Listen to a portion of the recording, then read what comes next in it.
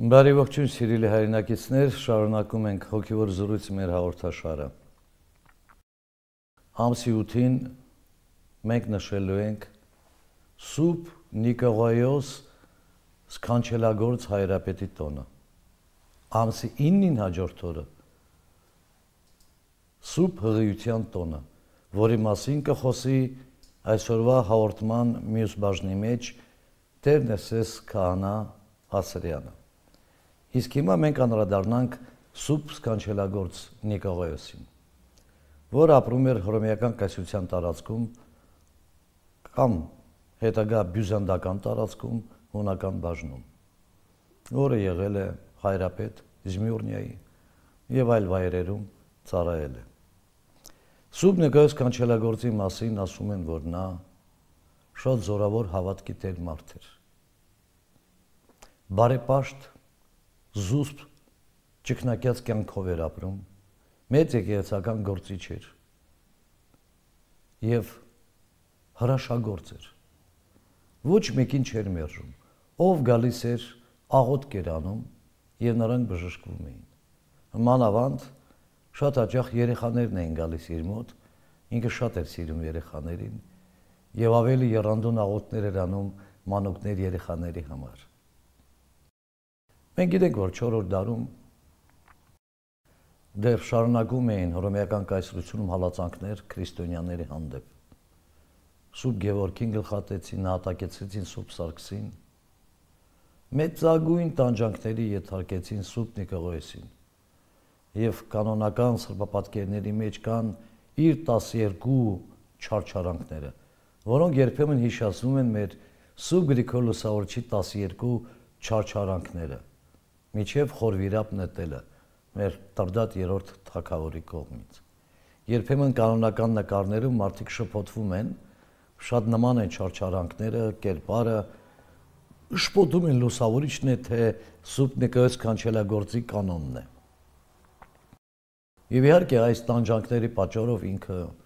դառնում է սուրբ, դառնում է կենթանի նահատակ, ինչպես մեր Գրիգոր Լուսավորիչ։ Այո, ինքը իր մահով կյանք ավարտեց լուսավորիչը, բայց անմարտկային տանջանքներով անցավ, որ հնարավոր չի մարդ կենթանի մնա, բայց Աստված պահեց։ Իր հետ մեծագույն ծրագրեր ուներ Աստված։ Հիմա Նիկայոս Կանչելագործը այնքան սիրվեց մարդկանց կողմից,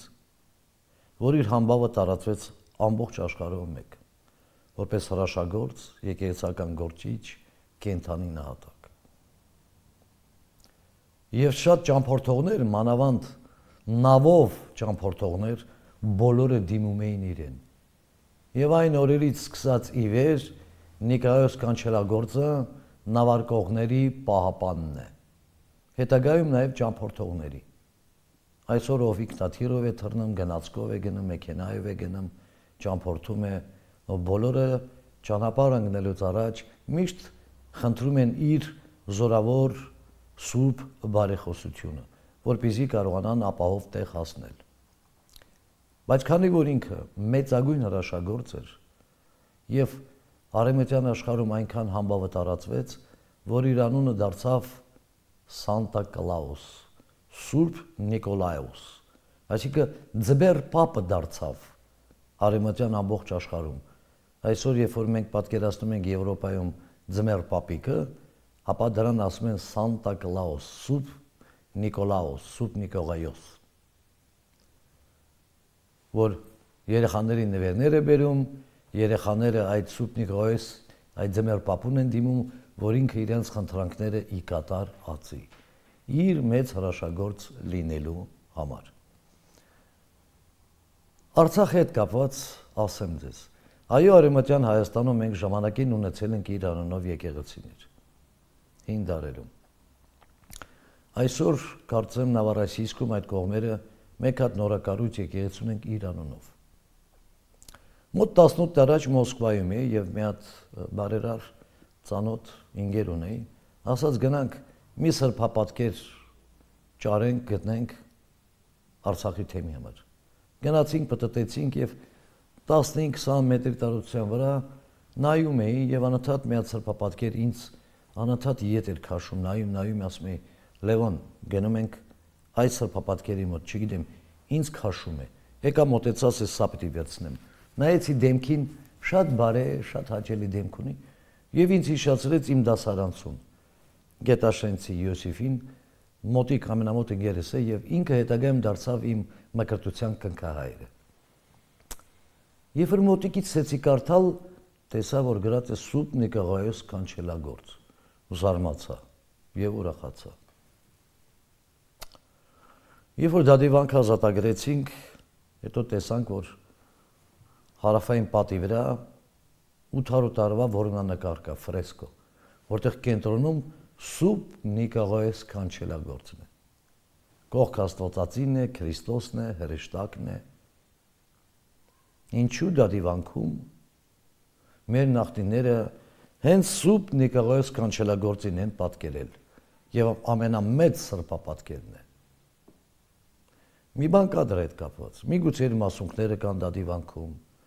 Կամ իր համբավը այնքան մեծ է եղել եւ միշտ էլ շատ տարածված է եղել հայոց աշխարհում եւ Արցախ աշխարհում դրա համար իրեն են պատկերել։ Կամ այլ ինչ որ ավանդապատումներ կան կապված դադիվանքի հետ եւ Սուպնիկը OS-ի հետ։ Վերջերս վերջի տարիները մենք Իտալիայից մասնագետներ եկան, երկու անգամ եկան եւ ամբողջովին վերանորոգեցին։ Հիմա շատ հստակ երևում է այդ որմնանկարները երկու պատի վրա։ Մյուս պատի վրա Սուրբ Ստեփանոս նախավակայի նահատակությունն է, քարկոծումն է հрьяաների կողմից։ Դադիվանքից գալիս եմ Ստեփանակերտ, զանգահարում կանչում են Էջմիածին ժողովի գնալ։ Ճանապարհվում եմ։ Երկու ժամ անց ճանապարհին մի կին է զանգում, Պապարքև Սպազան եղել եմ դա դիվանքում, վերջերս ուզում եմ անպայման ձեզ տեսնեմ։ Ասացի, որ Երևան եմ մեկնում, ինքն էլ ասաց, որ արդեն 3 օր է Երևանում է։ Պայմանավորեցինք, ամիջապես Երևան մտնելով, ասի հանդիպենք այստեղ, թեյ խմենք, լսեմ ձեզ, ինչ խնդիր կա։ Հայկին է Ռուսաստանի քաղաքացի, բնակվում է այնտեղ։ Ասաց, իմ մայրս շատ է պաշտում, սիրում Նիկոյոս Կանչելագործին Եվ մի օր է երազում որպես տեսիլք, եկավ Նիկոյոս Կանչելագործը եւ ասաց. Դուս տրիմ, ինչի՞ չես գալի ինձ մոտ։ Վեր կացա 3 օր հետո թռա Իտալիա, բարի քաղաք, որտեղ իր ամբողջական մասունքներն են։ Եկա երկրպագեցի, աղոթեցի, 5 հատ կրծքի ոսկե մեդալյոններ գնեցի, որի մեջ պատկերված է Սուբ Նիկողայոս Կանչելագործը։ Եկա մամային տվեցի, ծանոթներից բաժանեցի։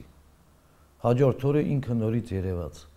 Ասաց դուստր, Բա ինչու քեզ համար չվերցրեցիր, չպահեցիր։ Խոստացա, որ մյուս անգամ կգնամ, ինքս ինձ համար կգնեմ։ Անցավ մի 2-3 ամիս։ Գնացի 20 օրով Կիպրոս արձակուրդ։ Հենց առաջի գիշերը պարկեցի, գիշերը երազում նորից եկավ սկանչելագործը։ Ասաց դուս տրիմ, ես միայն Իտալիայի համար չեմ։ Ինձ այստեղ փնտրիր։ Ում հարցրեցի, ասացին իր անունով Կիպրոսում չկա եկեղեցի բայց կա մի հին բյուզանդական վանք, գնացեք այնտեղ փնտրեք։ Գնացի եւ պատի վրա տեսա մեծ որոնանկար հենց կենտրոնում սուպ դեկաղոյս կանչելագործը։ Ուրախացա։ Մոն վարեցի, աղոտ կարեցի, երկրպագեցի։ Անցավ 10 օր եկա Հայաստան։ Երևան։ Առաջի օրը հենց պարկեցի քնելու, գիշերը նորից եկավ սուպ դեկաղոյս կանչելագործը ասաց դուստերին ես ոչ միայն հույների կամ իտալացիների համար եմ ինձ այստեղ փնտրիր ում հարցրեցի հայաստան իրանով չկա եկեղեցի մատենադարանում ասացին կա դադիվանք արցախում այնտեղ գոնե իր որմնանկարը կա պատի վրա ասում անմիջապես եկա տեսա ապշեցի ուրախացա մոն վարեցի եւ որոշեցի որ դադիվանքի համար եւ նիկոյոս կանչելագործի համար մի բան պետք է անեմ Եվ այդ կինը տիկին Գայանեն ի վերջո ծախսեր արեց, երեք լեզով գիրք հրատարակեց դադիվանքի մասին եւ դրա շնորհանդեսը եղավ Արցախում, Երևանում, Մոսկվայում, եվրոպական երկրներում։ Այդ բանից հետո ես եւ եղբայրս մեկնում ենք Կրետե կղզի, Հունաստան, 10 օրով արձակուրդի։ Մեզ դիմավորում է Գևորգ կանոնով նախկին Երևանցի Սարգսակ, որը սրբապատկերներ է անում։ Մեզ տարավ մեր եկեղեցիները, վանքերը, Մինոտավրոսի այդ տեղանքները, լաբիրինթոսը եւ այլն, եւ հաջորդ օր ասաց երեք օրից տղա պիտի ծնվի։ Ոայ ասի, շատ ուրախ ենք։ Ասաց ես շատ եմ սիրում Նիկողայս Կանչելագործին, տղայիս անունը պիտի իր անունով դնեմ Նիկողայոս։ Զարմացա։ Անընդհատ Սուբ Նիկողայոս հետ պատմություններ են կրկնվում եւ անընդհատ ինձ է հասնում։ Ծնվեց երեխան եւ անունը դրեց Սուբ Նիկողայոս։ Անցավ մի քանի օր,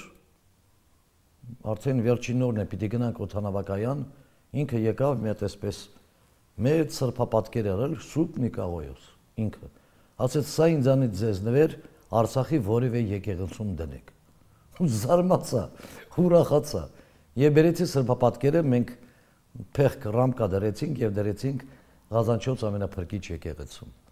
որից հետո սկսեցի աղոտ կանել եւ խորել հետաքրքիր բաներ եմ ես ուշում Սուրբ Նիկողոյոսը հետո կարծես թե աղոտ կիժանակ միտքը սկսեց ինչ որ ձևի պայծառանալ Եվ ես հասկացա մի բան։ Ստեփանակերտի նորակառույց մայր տաճարը Աստվածածնի, որ կառուցում ենք, գլխավոր խորանը Սուրբ Աստվածածնի անունով է։ Բայց կողքեքը կա երկու խորան։ Մեկը ես որոշելի, որ Սուրբ Գրիգոր Լուսավորիչի պիտի լինի։ Եվ այդ աղոթքի ժամանակ հասկացա, որ այս խորանը պետք է Սուրբ Նիկոյոս Կանչելագործի անունով անեմ։ Մոսկվայից գնաց ան սրբապատկերը, որ 18 տարի ինձ մոտ է, պետք է դնեմ այդ տաճարում։ Եվ կարծես թե սիրտս միտքս հանգստացավ։ Ինչ որ մի բան ինքը մեզ հուշում է։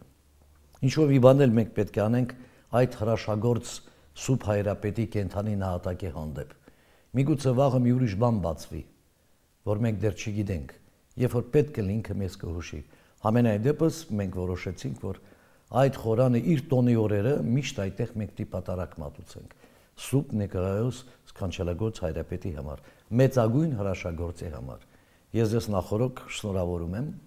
ամսյութին այդ տոնը մենք միասին պիտի նշենք։ Խնդրում եմ Սուրբ Նիկոյոս Կանչելագործի զորեղ բարեխոսությունը հայոց աշխարհի, Արցախ աշխարհի համար։ Իսկ հաջորդ օրը ամսինին Սուրբ հղիության տոնն է, որի մասին կխոսի մեր արժանապատիվ Տեր Ներսես Քահանա Ասրյանը։ Ողջույն, սիրելի հեռուստադիտողներ, դեկտեմբեր 9-ին հայ առաքելական եկեղեցին պետք է նշի Սուրբ Մարիամ Աստվածածնին նվիրված տոներից մեկը, որը ըստ տրամաբանության առաջինն է հենց Աստվածամոր նվիրված տոների մեջ, որովհետև խորհրդանշում է Աստվածամոր հղացվելը իր մոր Աննայի որովայնում։ Հենց այդպես էլ կոչվում է հղություն Սուրբ Աստվածածնի Հաննա է, այսինքն Աստվածածնի հղացվելը Աննայից։ Աստվածամոր հղացման այս պատմությունը մի գեղեցիկ ավանդություն է, որ պահպանել է եկեղեցին եւ որը հետագայում տեղ է գտել եկեղեցական գրություններից մեկում, որ կոչվում է Հակոբոսի նախաավետարան։ Աստվածամոր ծնողները Հովակիմը եւ Աննան բարեպաշտ հավատացյալ հрьяաներ էին եւ սերում էին թակավորական եւ քահանայական տոհմերից։ Հովակիմը թակավորական Դավիթ Մարգարեի տոհմից էր, իսկ նրա կինը Աննան ղևտական քահանայապետական տոհմից էր։ Եվ ինքը Հովակիմը քահանա էր քահանայական աստիճանն էր եւ դաճարում իր ծառայությունն էր մատուցում սակայն ժամանակի հետ քանի որ նրանք զավակներ չունեին աստիճանաբար սկսում են հрьяաների շրջապատում բացասական ընկալման արժանանալ քանի որ ամրությունը կամ զավակ չունենալը հрьяաների համար համարվում էր արդեն իսկ պակասություն եւ այս խնդրին առնչվում է նաև Հովակիմը տաճարում զոհաբերությունը մատուցելուց, երբ որ քահանայապետը նրան արգելում է առաջինը մոտենալ զոհ մատուցելուն, քանի որ նա զավակ չուներ։ Այս ծանր հարված է լինում այս արգելքը, որ կարելի ասել վերջին կաթիլն էր, եւ Հովակիմը թողնում է տաճարը եւ գնում անգամ ոչ թե իր տուն, այլ լեռներ։ Սկսում ճկնել, աղոթել, խնդրել Աստծուն, որ իրեն զավակ ապարգևի։ Այս պատմության զուգահեռ երեսին տեսնում ենք Աննայի հոգեվիճակը, որ բազմիցս աղոթում է Աստծուն, որ իրեն զավակ ապարգևի եւ ահա մի անգամ, երբ որ պարտեզում շրջում էր եւ տեսնում էր թե ինչպես են թրջունները իրենց ցակերին գերակրում հերթական այսպես հարվածն է ստանում, հուզվելով, լացելով, խնդրում է Աստծուն աղոթելով, որ իրեն զավակ ապարգևի ասելով, որ անգամ այս անբան թրջունները իրենց ցակերն ունեն, սակայն ես զավակ չունեմ։ Եվ ահա այդ պահին ավանդության համաձայն նրան հայտնվում է Գաբրիել հրեշտակապետը եւ ավետում, որ նա զավակ է ունենալու։ Մի դուստր, որն իր մեջ պետք է հետագայում գրի Աստծո որդուն կամ մարմնացյալ Աստծուն։ Նույն այս падգամը տրվում է նաև Անայամուսնում Հովակիմին, ով լեռներից իջնում է իր տուն եւ որոշ ժամանակ անց իրոք Աննան հղյանում է եւ նրանք ունենում են հետագայում Մարիամ Աստվածածնին։ Մարիամ, որ նշանակում է լուսավորյալ։ Եհա այս գեղեցիկ պատմությունն է, որ այսօր մեր եկեղեցին դեկտեմբեր 9-ին պետք է նշի, որը մեր եկեղեցու անշարժ տոներից մեկն է։ Եվ հետևաբար սա եւս մեկ առիթ է մեր հավատացյալների համար, հատկապես այն մեր հավատացյալների համար, ովքեր զավակի կարոտ են դիմելու Աստվածամոր բարեխոսությանը,